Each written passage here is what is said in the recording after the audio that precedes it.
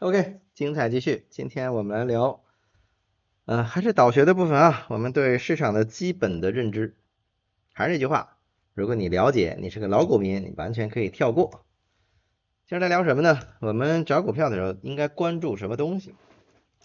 有些人说应该关注财报，财报代表着这家企业的经营状况。有些人说应应该关注消息，要了解一些突发的情况。好。有些人说应该解读政策，就是对这个行业发展的一个预期。有些人说我应该用一些传统的技术指标，KDJ 呀、MACD 呀、均线呀等等布林带。还有坊间盛传的很多，说我要用分时图啊、用打板啊做盘中 T 加零。无论你听说过什么，有些东西我刚才说你都不知道，没关系，因为这些东西都不重要。我们该关注什么呢？很多人会觉得一家公司的经营情况我应该知道，为什么？经营的好，这家公司才能好啊，才能涨啊。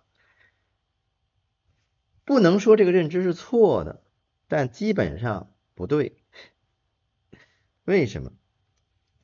一家公司财报好看，经营情况好，它公司股价就会涨吗？不会。可以说不是不会。有的时候会，有的时候不会，所以就是说没有直接的关系。一家公司经营的怎么样，老板是谁，背景是什么，跟这家公司的股票价格涨不涨没有那么直接的关系。很多时候我们看茅台，另一个极端例子我们看中石油，谁觉得中国石油这家公司不行，要倒闭了，有可能啊？谁觉得他经营的不好，觉得利润少，有可能吗？它就不涨啊。茅台我们都觉得它能涨，但是我们觉得它茅台酒能卖的更多吗？它也就这么多了，它产量就那样了。它经营情况怎么样？一直就不错，但是没有好到那个份儿上。那凭什么茅台的股票从几块钱涨到几十，涨到几百，涨到几千呢？那比它财报好看、漂亮的公司多了去了。所以这事儿没有那么直接的关系，看上去好像很合理。包括这些我就不一一说了，这些东西都全都不重要。那我们应该关注什么？我们要关注的是市场情绪。我们给大家讲的也是技术分析，讲的是什么东西？市场要涨还是要跌？情绪高涨，大家都觉得要涨，那家公司涨，涨了以后我们买，买完以后涨，涨了就挣钱了，就完了。那财报好不好跟你有什么关系啊？没关系。所以，我们我们给大家课程说的这个技术分析，不是传统那些指标，也不是那些分时图啊、打板啊等等那些你能外边听到的。我这儿讲的，你大多数内容你是听不到的。除了基础的部分跟外边讲的一样，核心的东西跟外边是不一样的。所以，真正了解市场、理解市场、知道要涨要跌的人是少数。我们去挣那些不懂的人的钱，好吧？我们给大家讲的就是分析，了解市场情绪。那我们怎么来做呢？我们要读懂 K 线。我们打开看盘软件，好，打开以后看到这是我们的大盘上证综合指数。补充一个小概念哈，我们一般说大盘就是指的上证综合指数。这种指数我们有很多。这就是很多股票价格把它集合到一起，而我们最常用的、最管用的、最值得分析的是上证指数。你说深圳，深圳不是也有个市场吗？对，但是深成指、深圳的那个成分股的那个指数很受伤，它不代表市场。这直接当一个结论给大家用。我们看大盘就看上证指数。你打开看盘软件以后，默认一般就是这个。或者你说找不着是哪个？摁那个功能键的 F 三，任何一个软件摁功能键 F 三都是这个，大家统一的，好吧？打开以后，上证综合指数，我们看到这是盘面上一个一个红的绿的柱状体，这代表盘面的涨跌。那具体怎么来解读呢？这个是我们说的 K 线，没有 A 线 B 线啊，只有 K 线，就是字母 K，我们就统一这么说了。这个 K 线是什么意思？我们应该怎么看它？很简单，我们先把它分成两类，红的和绿的。如果您分辨不出颜色的话也没关系，我们就看实心还是空心。空心的红色的，我们管它叫做阳线；实心的绿色的，我们管它叫做阴线。中国人对阴阳很好理解，阴代表收敛，对吧？阳呢代表发散。阳线实体部分是空心的，代表上涨；而阴线不改颜色了，代表下跌。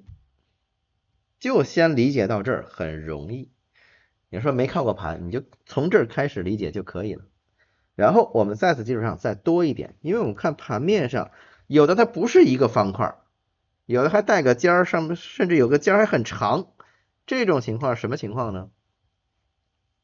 这种情况就是我们阴阳线的一共要关注的四个价格，它以一根这么一个柱状体，加上有的上边带尖，下边带尖，来代表这一天的走势。这一天走势一共四个关键的点：开盘价、收盘价、最高价和最低价。如果是一个阳线的话，开盘价实体部分的下沿这个位置，然后经历一天的上涨，然后涨到这儿，下午收盘的时候收在这儿，这是盘中达到的最高价，盘中达到的最低价是这个以这个我们叫做影线，影子的影，影线的部分来表示，就是这个这个部分，上面一个针，下边这个针，有的上面是凸的，下面凸的，那就没有影线，或者很短或者很长，都是这个意思。好，那我们举一个例子，阴线呢就把它反过来，阳线最高价和阴线最高价都是上面这个尖儿，这是没区别，最低价也不变，而变的是什么？开盘与收盘，因为阳线代表上涨，所以开在下边收在上面；阴线代表下跌，开在上面收在下边。这个东西不用背，我们现在给大家讲的东西也不需要你背，我们不是中小学的教育，说现在你你记住了，学会了。背下来了，然后周期末我们考这个，考过你拿个证，考个分，那玩意儿没用。我们现在的一定要理解，阳线开在下边，收在上边，然后阴线呢开在上边，收在下边。举一个例子，我们就拿阳线举个例子，比如说一只股票在这开盘的价格，早上一开盘九点半一开盘的时候，八块八毛八，在这个位置，好，曾经。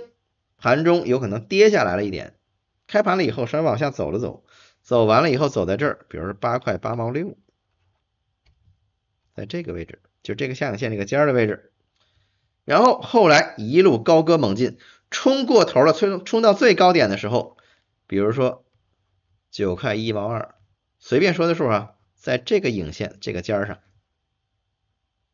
然后呢，最终的收盘价。九块零三收在这儿，这就构成了它一天的价格走势。这四个东西，这四个数是我们最该关注的，就是最高价、最低价、开盘价与收盘价。而这里边所有这四个价格里边最重要的是这个收盘价，大家记下来，这个划重点，以后要用。我们之后经常会用到收盘价来决定我们现在的行情是强势还是弱势。之后要涨还是要跌，收盘价最重要。阴线这儿也一样，我就不举例子了。开在这儿，然后曾经价格上去过，然后又下来过，然后又回到这儿来，收在这儿，对吧？同样收盘价最重要。所以这个阳线也好，阴线也好，实体的部分是最值得我们关注去研究的。我们之后也更多的是看它。除此以外呢，除了 K 线本身，K 线代表的是什么？如果我们把这个图弄得简单一点，K 线，对吧？这个盘面上现在只有 K 线，K 线代表的是价格，价格涨与跌，最快、最直接、最有效的展现在盘面上，告诉我们之后要涨还是要跌。如果你看得懂 K 线，不需要看别的。有些人在盘面上长得这么花里胡哨，一大堆东西。完全不需要，真正看得懂 K 线的，看 K 线就够了。如果你说看 K 线，有的时候我们分辨不出来，需要一个辅助判断的时候，多加一个东西叫做成交量。成交量在下边，对吧？在这个副图的位置，成交量就长这个样子。成交量我们要关注什么呢？底下这一根一根，这正经是柱状体，全是一个一个的柱状图，对吧？这个没有尖了。这个成交量很有意思，都是一根一根柱子。这个东西我们怎么看呢？很简单，我们其实我们给大家讲的课里边用到成交量的时候不多，是少数情况。实在我们看 K 线看不明白了，拿成交量来辅助判断一下。绝大多数情况是不需要看成交量的，但是看的时候也很简单。成交量我们看的时候就这么几件事，我们一个来一个来说一下。首先，它出现的位置，这是我们的图表区，底下呢我们叫做指标区。我们看到很多 KDJ、MACD 在底下，虽然我们不讲，对吧？但是我们知道这是指标区，它在下边，就是或者叫副图的位置，对吧？这是主图，底下是副图，它出现在底下的这个位置，这个是成交量。好，这是它出现的位置。然后我们经常会说到放量与缩量，放量是成交量，成交量有所放大，比谁呢？就跟前一天比。我们说今天是放量的还是缩量？跟谁比？就跟昨天比，前一个交易日。为什么前一个交易日呢？因为不是自然日，比如今天是周一，那你跟前一天比就不是跟周日来比，周日没有交易，跟上周五去比，对吧？如果上周五是个节日的话，那跟上周四去比。总之跟前一个交易日来比，放大还是缩小，对吧？放大的叫叫放量，缩小的叫缩量。放大一点点也叫放量，只不过那个放量不明显，而缩量也是缩小一点点也叫缩量，只不过缩量缩小的不明显，仅此而已，好吧？这都是跟前一天比放大还是缩小。再有呢，我们会经常听到一个词儿叫天量还是地量，这个其实我们用的也不多，但是别人说的时候你要知道这个是什么东西。天量就是短期突然放一个特别大的量，比如我们随便找只股票，嗯。我们随便找一只股票吧。好，我们来看这一段，这个成交量不需要放的特别特别大，但是要很明显。我们随便看一段，前一段时间我们来看，我现在下边我我放这儿，我现在手指这个位置。它的成交量总体来讲是比较低的，在一个很低位的位置在徘徊，对吧？总体的量就就没有超过这条线，有偶尔有一个超过超过，但是突然有一个放的特别大的，这个我们就这一根线，我们管它叫做天量，突然一个爆发式的成交量的放大，有可能是前一天的十倍、二十倍，就这种成交量。比近期的都多，在一平之内它是最高的，而且高的特别夸张，这个事儿叫叫天量。而反过来呢，地量就是其实底下这一段，假如没有这个底下这一堆，之前是逐渐在缩量、缩量、缩量，缩到一个比较低的位置，然后就在底下很低的位置开始徘徊了。你说偶尔有一个大的无所谓，总体来讲这个叫做地量。地量的同出现的同时，一般在价格也是比较低的位置。所以天量呢，也一般是价格往上突破的位置。这个之后用到的时候我们会提，其实用到的时候不多，知道就行了，有一个了解就行了。这个就是我们说的放量缩量，成交量这东西怎么怎么看？放量缩量是最常用的，偶尔会看一看天量或地量。然后有也有人说这个阴量和阳量的问题，阴量和阳量是指的什么？是指的成交量的颜色，红的还是绿的？我们在看到这儿的时候，有的红的，有的绿的，其实这个没有任何意义。这个的颜色，当天 K 线是个阳线，底下的成交量对应也是红的，也是个阳量。这是个阴线，对应成交量也是阴量，知道这个就行了。我们做一个大概的了解，对吧？老股民都知道，不用我说太多。新股民呢，没做过的。大致知道有这么回事儿就可以了，这些东西通通不用背，了解就好，好吧？那么今天到这儿，之后精彩继续。